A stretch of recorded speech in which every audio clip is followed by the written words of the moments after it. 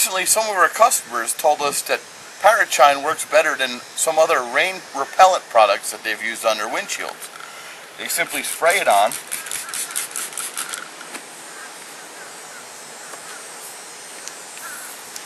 Buff it into their glass.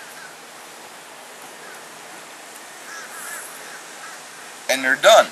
Another thing some of our customers have been doing is spraying it on the leading edges of their vehicle and just simply rubbing it in.